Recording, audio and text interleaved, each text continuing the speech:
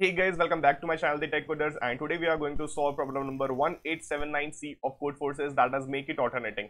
Okay, this was the part of educational Codeforces round 155 rated for division 2. Okay, so this is our question. So let's try to understand what basically question is saying to us. Let us suppose that this is my given string. Okay, let us suppose that this is my given string. So what I have to do, I have to make this string as an alternative binary string. I can see that this is a binary string so what is an alternative binary string? It, it will be like this 10101 or 010101 like this. Okay, or 101010 like this. That is, there should not be consecutive one or zeros over there. Okay, this is what we are supposed to do. So let's do indexing for this case. So now we are done with the indexing part. Okay, I am saying that I should not have any consecutive zeros or ones over here.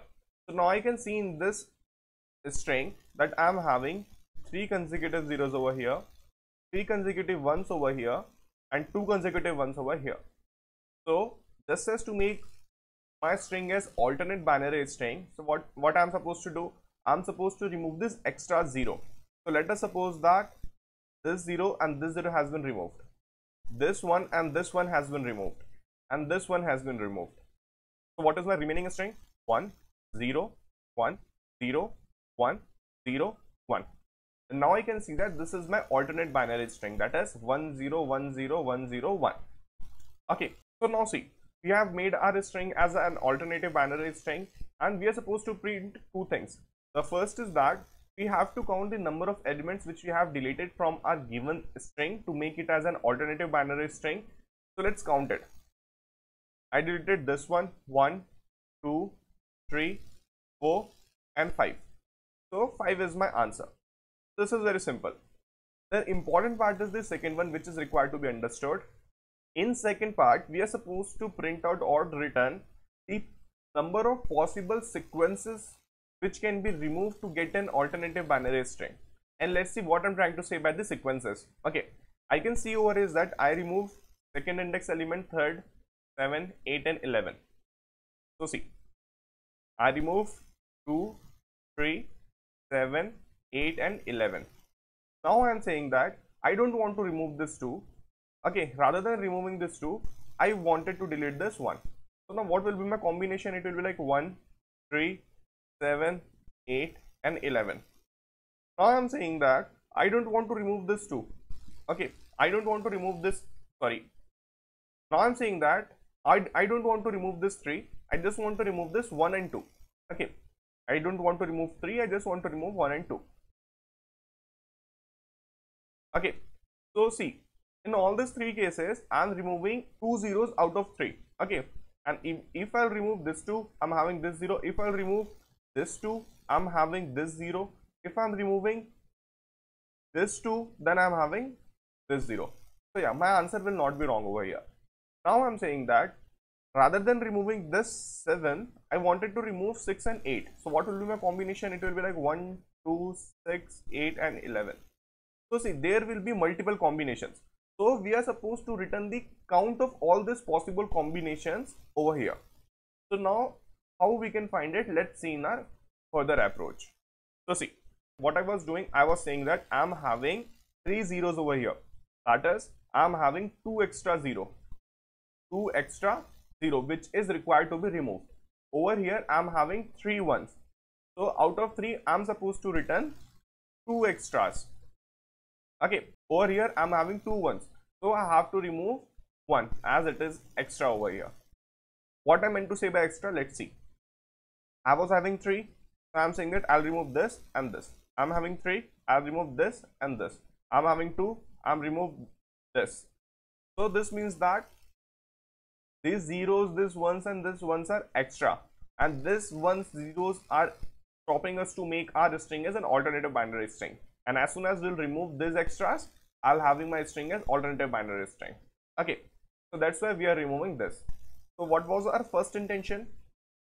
At first we are supposed to remove the number of operations which we are supposed to perform to make this string as alternative binary string. So i'm saying that so i'm saying that my operations will be 2 plus 2 plus 1 that is 5. Now let's come to the second part. This is an important one. What I said, I can remove 2, 3, 7, 8 or 11.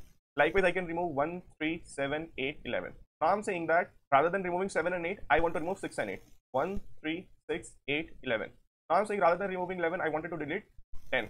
1, 3, 6, 8, 10. So there will be many such combinations. So now let's try to understand how many such combinations can be possible. I am saying that the number of combination is equals to the product of all these consecutive elements. That is, here I was having three consecutive zeros, here I was having three consecutive ones, and here I was having two consecutive ones. Okay, so what will be the number of combinations? My number of combinations will be equal to 3 into 3 into 2, which is gonna be equal to 18, which is equals to 18. What is this 18? I said na at first I removed 2, 3, 7, 8, 11. Then I said 1, 3, 7, 8, 11. After that, I can say that I can remove rather than 1, 3, uh, I am removing 1 and 2. So what will be my other combination? It can be like this 1, 2, 7, 8, 11. Okay. So I am saying that I can have such 18 combinations. Question says that it is not important to remove sequentially. That as, as I can see over here, at first I was removing 2, 3, 7, 8, 11. I can also remove 3, 7, 8, 2 and 11. I can also remove 10, 8, 6, 1, 3. Okay. So now see for a particular one combination, how many such arrangement can be possible? How many such arrangement can be possible? So we have learned this in permutations and combinations that if I'm having five elements with me, if I'm having five elements in with me, so how many arrangements can be possible like this? How many such arrangements can be possible? I am saying 5 factorial. I am saying 5 factorial. As there are 5 elements, as there are 5 elements, so the number of such arrangements can be 5 factorials. Because we have already studied that if I am having n elements with me, so the number of ways I can arrange them is 9 factorial. This is a basic maths. Okay, this is a basic maths. How we get this? I'm saying that there are five positions. Okay over here i fixed one. So over here five elements can come. And now when i fixed one over here over here i can get only get four because one is fixed. Now i fixed in these two positions. So over here it will be three. Likewise two. Likewise one 5 into 4 into 3 into 2 into is equals to 120 okay is equals to 120 and this is what our 5 factorial is this is what our 5 factorial is so this is what we are doing so now see possible arrangements can be 120. So now what will be my final result? My final result will be 18 into 120. My final result will be 18 into 120. So yeah, I'll simply print 18 into 120 over here. So that's it. This is what we are supposed to perform in our question. Now let's move to the coding part, how we can code this approach. So see, this is mod.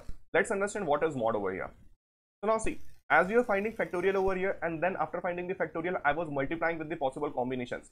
So that number can be really very large and that's why it is given in the question that print the remainder modulo this one that is double nine eight two double four three five three. So that's why we are considering mod in our coding part. So see if it if we don't consider this mod then my answer will be really very high. Okay and the integer and even long long can't be able to handle that number. So that's why we are taking mod over here. Now we are having all these variables. N will be the size of the string. Extras. Extras are the number of consecutive elements. Operations. The number of operations which we have intended to perform. Factorial. This will hold the factorial. Initial its value is 1 and this will be my result. Okay.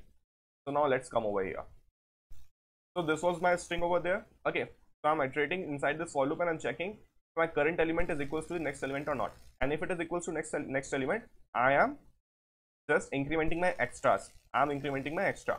And in case if it if it is not equal to next element like this currently my index is over here and these two indexes are unequal to each other.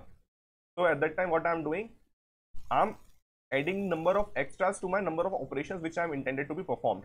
Okay what will be value of my extra till till till here it will be 2 i'll be standing over here and i'll check this i'll stand over here i'll check this so it's 2 so i'm supposed to remove these two elements I meant to say either of the two elements, I have to remove two elements over here. So I'm adding that operation over here. Okay. After that, I'm again incrementing extras. Why again I'm incrementing extras? See, as I'm as I'm removing two elements from here, that means the number of consecutive elements is 2 plus 1 that is 3 that's why i'm incrementing extras after that what i'm doing? Result into extras. I'm doing result into extras. Why? At that time what we were doing we were just multiplying all the count of consecutive elements like this. Okay 3 into 3 into 2 so this is what we are doing at over here. Now we are done with this also. Okay after this now i'm having the unequal value so i'm re declaring my extras as zero. Okay now i'm redeclaring my extras as zero.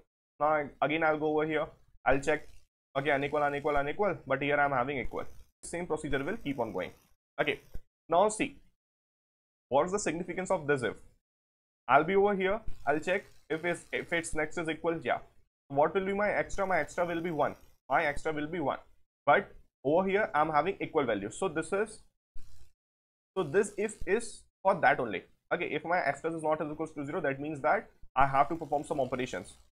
So i added that extras to my operations. Now i incremented by extra because if i have to perform one operation then that means that i'm having two consecutive elements. So again i'm updating my result. So now see over here i'm trying to find the factorial.